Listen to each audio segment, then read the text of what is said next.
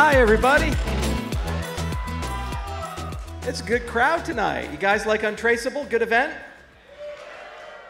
I think I'm the man who stands between you and alcohol, so be brief and be precise.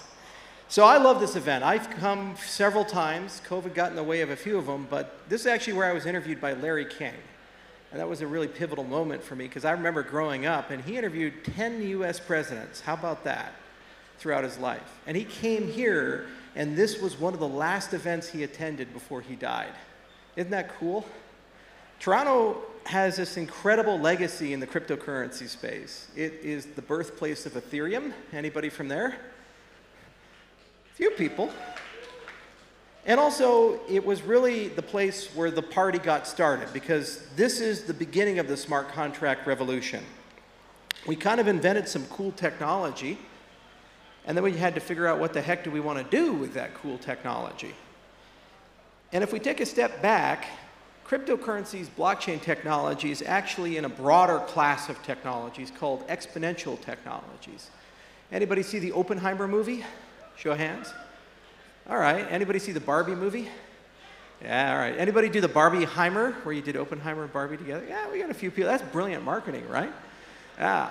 Well, why do we talk about that? Nuclear weapons are an example. You put a little bit in and you get a lot out. You put a little bit more in, you get a lot out.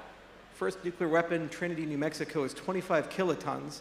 Ten years later, we had the one at Bikini Atolls, 15 megatons, 25,000 to 15 million. It's pretty remarkable. The problem is humans are really bad at understanding the consequences and nature of exponential technologies and what they mean. So here's a great example, prime the pump a bit. So let's say you have a chessboard.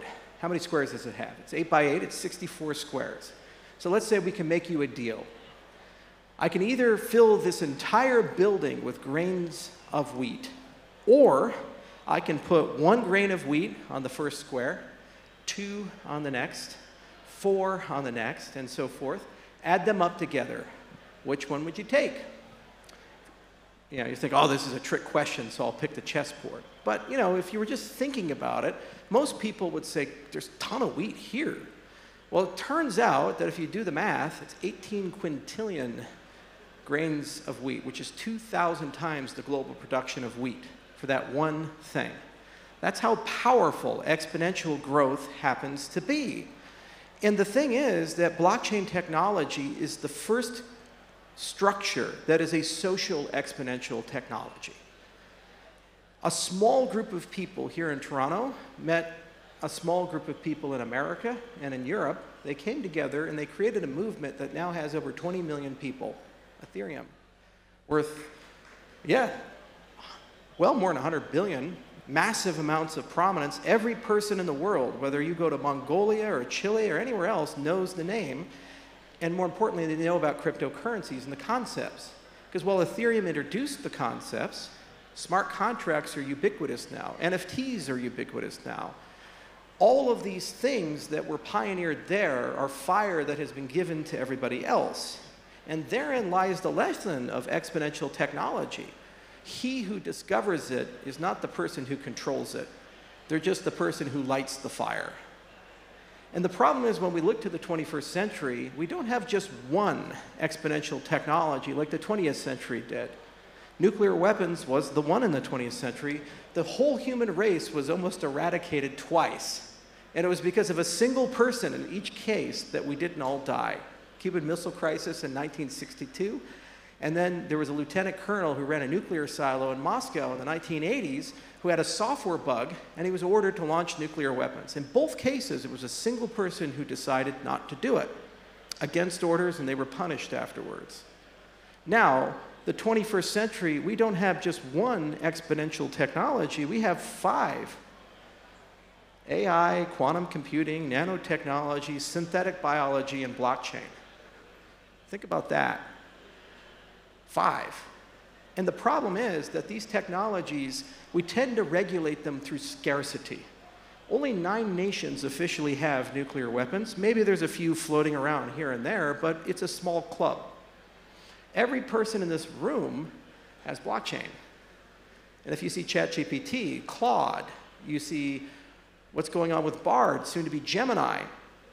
You have capabilities growing a 10x, 100x, 1000x in a very short time period.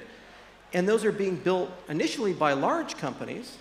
In just a few years, they'll be handed down to mid size, eventually small companies. What does that mean? That the exponential technologies of the world are becoming democratized. This is going to be the character of the 21st century, the wisdom we apply, for better or for worse, of what to do about that. There's never been a time in human history where so few could lift the world like an Archimedean lever. A small group of people here could change the lives of every person in Africa. A small group of people in Africa can change the lives of every person here. Doesn't matter the systems you were born into, it doesn't matter the economy you come from, the educational background that you have. I mean, if you were a minister of education and the president comes to you and says, Tell me, what should the curriculum be so the grade school students today are competitive in 2030 or 2040? Would you even have an idea what to put in there? We'll teach them about chemistry and biology and all these things. Well, what the hell does that mean when you can just go to ChatGPT and ask a question, and in 10 years, it gives you an answer better than the smartest person you've ever met in your life? Is that a skill that's going to be competitive, get you a job? Is that a skill that's going to get you ahead in life?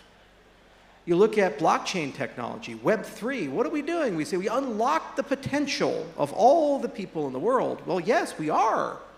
If a small group of people here in this room invent a voting system that's massively better than the voting systems of nation states, every nation state in the world gets to use that for free tomorrow. Every corporation gets to use that. Every club gets to use that for free. Think of that. Think about how powerful that concept is. We talk about property rights, we talk about financial systems. If you align the incentives right, they spread like wildfire, and you wake up, and suddenly every single person has something exponentially better than the generation before. So, the problem we should be talking about, the thing we have to solve as we tackle these technologies like SynBio, like AI, like nanotech, and blockchain, is how do you regulate them? How do you talk about them in a way? And my conjecture is that the only way to regulate them responsibly is the use of blockchain technology. Because in solving the governance of blockchain, you solve the governance of any social system or any technology. Otherwise, the only other option is either to ban the technology or to install a world government that's capable and so strong and pervasive that it can prevent each and every person from using it. Think about AI. Not too long ago, all these people got together and they signed this letter and they said, we need to slow down a little bit. We have to take a 100 day pause. You know, we just need to catch our bearings and, and we're going to create a website, safe.ai, and we're, we're going we're going to figure out how to solve the alignment problem. And then here's what happened. Microsoft integrated OpenAI into Office, Copilot comes out, and then Google says, God, that's a big problem. So one of the founders of Google comes out of retirement got $100 billion, he's living on yachts. Life is good for Sergey Brin. And he walks in, he's like, you know, I'm just going to take over the whole AI thing. And I don't report to anybody because I kind of still own a large chunk of the company. So the whole AI team is just my team now. DeepMind, you're mine. You guys over there, you're mine. So we're going to train Gemini, and it's going to be 100 times more powerful next year than GPT-4. And what are we going to train it on? You guys ever use YouTube? Google Docs? Gmail? Search? A few of you, right? Well, what if all that data is fair game? And what if you could do the reinforcement learning instead of using human feedback with automated feedback? So you use the models to train the models. The single most expensive part of it is now free. So what does it mean? Microsoft says, oh shit, we can't slow down. Fuck, we gotta speed up. We gotta get, get that GPT-5 out there. And Anthropic says, oh God, you know, Claude is gonna look terrible. We gotta get Claude 3 out. And Facebook says, well, Llama, Llama's gotta get out there, right? Yeah, we gotta get Llama 3. We love Llama. Okay. What does that mean? A competitive equilibrium is misaligned with us, our intent. If the intent of the people is to slow down, why did they create a competitive reality where the only answer is to speed up? And guess which field is the world leader in incentives engineering, thinking about these puzzles, getting people to do things without passing a law. The blockchain industry. We're the best in the world at incentives engineering. You hear about tokenomics, you hear about game theory. All these people try to figure out how do I get somebody to mine my cryptocurrency? How do I get somebody to build on my platform? How do I incentivize people to do these things? That's what we do because we don't have the power of the state. Yet somehow, someway, lacking legal agency, regulation, a corporate structure, a centralized leader, unlike all these other people, in 13 years we went from a single dude mining something on a single computer to a global movement with hundreds of millions of people building giant mining factories. I live in Gillette, Wheatland, and many other places. I've got a clinic up in Gillette. Right next to where my construction warehouse is at, I see this odd structure. I said, What the hell is that? I get a little closer. I say, No way. This is a 35,000 population town. That's a Bitcoin mining pool. In Gillette, Wyoming, the middle of damn nowhere, do you think there was a Bitcoin Bureau of Mining that decided, you know, we just can't wait to construct something in Gillette? No. We can't even figure out who the hell the guy is. I'm a little pissed off. He's in my backyard. Didn't come talk to me. I'm, I'm the crypto guy there. So that is the superpower. You didn't have to ask permission. You design the incentives in the right way, and people just do things. So alignment is an incentive problem at its core. The question then is, how do you decide alignment? And therein lies the wisdom of these systems. If you talk to the scientists who worked on the Manhattan Project in the 40s, the majority of them first thought the bomb was going to be dropped on Nazi Germany. It was a little personal for a lot of them. Then, when Germany lost the war, they said, Oh, we'll never have to use it then. And they said, No, no, no, we're going to use it on Japan. So they asked for a recommendation, and they said, The best thing to do would be drop it nearby Tokyo. Try to find a place that's not very populated, but make sure they can see it. Because if they can, they'll know the horror of it and they won't want anybody to use it. You know what the military did? Truman stepped in and he said, You know, I got this Potsdam conference, and the Russians, they have a massive army in Eastern Europe, and if they don't understand the power of this weapon we have, we won't be able to negotiate the borders of Europe the way we'd like. So let's drop it a few times on Japan. How do you think those scientists felt? They spent years of their life building something thinking that it is the ultimate weapon of peace. And not only did that happen, but a tribe of them, a group of them, just said, we can build a bigger one, a fusion bomb, a thousand times more powerful. This is a lack of wisdom in a system.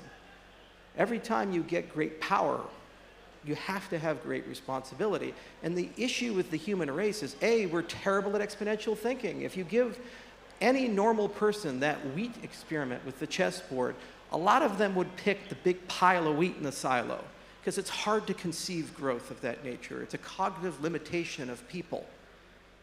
And most people are not allowed to think big. You're not told that when you're a kid. You know, everybody says, don't worry, you can be a Navy SEAL astronaut, fighter pilot, president. But then they say, well, you know, maybe you can be a teacher. Maybe you can work really hard, be a doctor. But how many people legitimately think they're going to be the CEO of a Fortune 500 company, or a president, or a Nobel laureate? Some people do. Most of us can't get there. It's a small club. The problem is that with exponential technologies that are democratized, each and every one of you has to have the wisdom, strategic foresight, and capabilities of those types of roles. Because at the end of the day, your use of the technology, your consumer preferences, how you view these things, will ultimately determine whether we succeed or fail. COVID is a phenomenal example of that. Some people say it was natural, some people say it was made in a lab, the one thing that's undeniable is it started with a single person. Somebody got infected somewhere. And just a few months later, the entire world was shut down, and every single one of our lives, every single one of our societies, in some way was impacted. A million Americans died, many Canadians died. A lot of you had to deal with the lockdowns. It was horrible. It felt bad. And that's an example of the power of exponential technology. What's horrifying is whichever side of the debate you fall on, synthetic biology, a small group of people can make that happen anywhere in the world. And wherever it happens, it impacts all of us. So, this is, in my view, our industry, the single most important contribution it's going to make to society isn't that we're going to get more efficient financial systems or beautiful voting systems or NFTs or a new way of viewing intellectual property. That's great. We're going to get those things. That's evolution and innovation better, faster, cheaper. And there's plenty of people in this room fighting like hell to get those things because they like money, they like changing things, they like helping people. Everybody's got a mission, everybody's got an itch. But the single most important contribution of the industry is going to be in governing blockchain technology in a way that it works for us. You learn how to govern exponential technology. You learn how to distribute wisdom. Give an example. So Cardano is my pet project. I've been working on it for a little while. You guys like Cardano?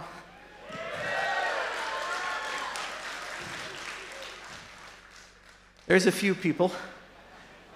Crypto media, are you listening? Cameras back there? Okay. Pulling a Trump there. Very dishonest.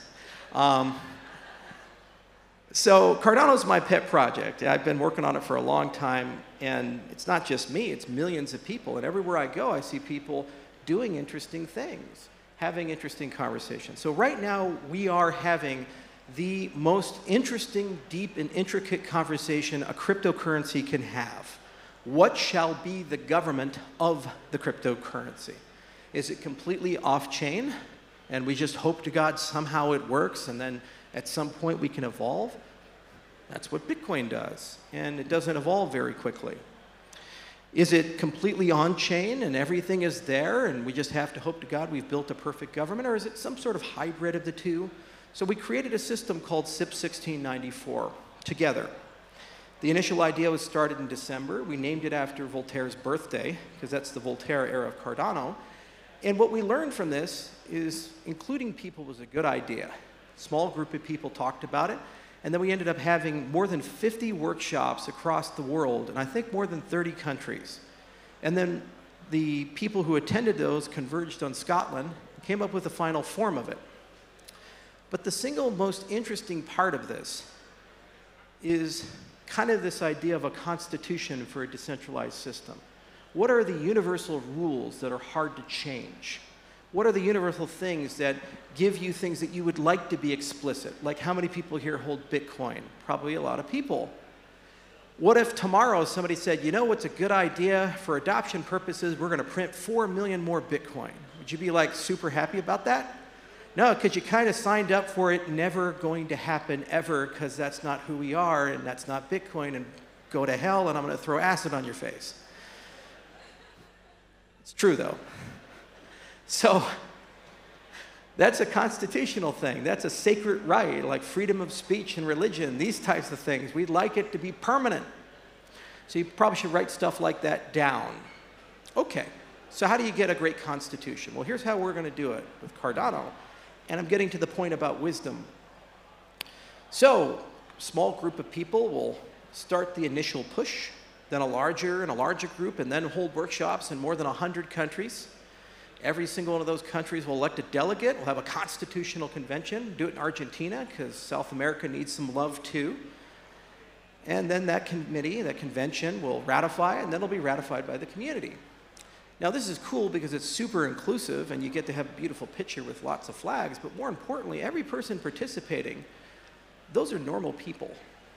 They're not constitutional scholars, they're not people who spent 45 years and teach constitutional law at Harvard.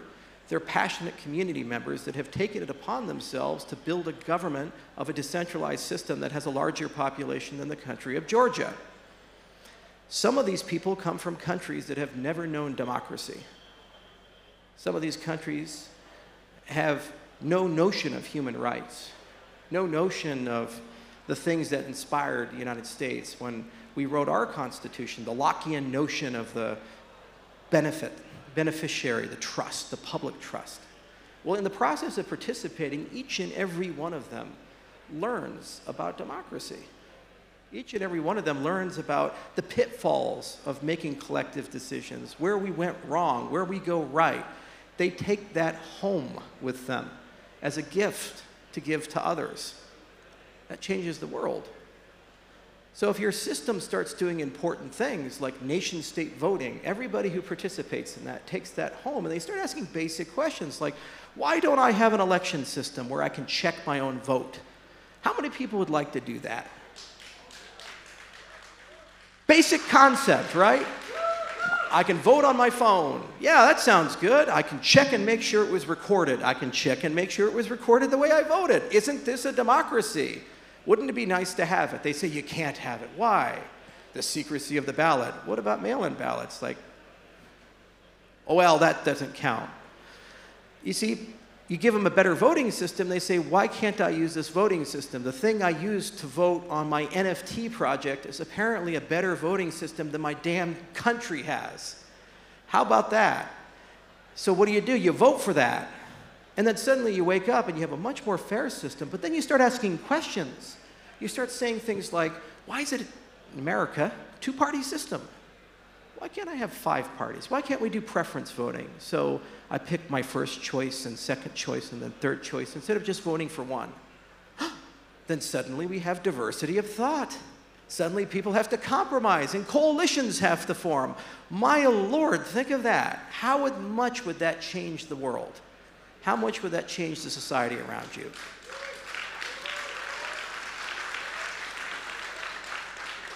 Because the young people will demand it. Why? Because that's what they're used to, because when they have their NFT or their cryptocurrency, they've already gotten used to voting. They've already gotten used to this idea that they have rights. They've gotten used to being their own bank. They've gotten used to having financial privacy. They've gotten used to kind of being in charge of their life instead of having someone else be in charge of their life. But yet, somehow, we have to make this work not just for a small group of people, but for everybody. And that is the key for alignment with exponential technologies. You have to find a way to have these superpowers that can lift the world and give them to people in a way where they know what to do with them. They have the wisdom for what to do with them. The 21st century is going to be the most exciting in the history of humanity. It's the make or break century. You hear about the Fermi paradox and these things, like most things don't seem to survive past a certain point. This is the moment. You are now in control. The whole world is being rewritten and reprogrammed. All the conventions that we grew up with, all the statements about you can never be the president or the Navy SEAL or the astronaut, that's gone. It doesn't matter anymore. It's changed. You've been given fire and you have to decide what you're going to do with that fire. And if we do a good job here, then I think we can do a good job everywhere else, and it's going to be one hell of a century. Thank you, everybody.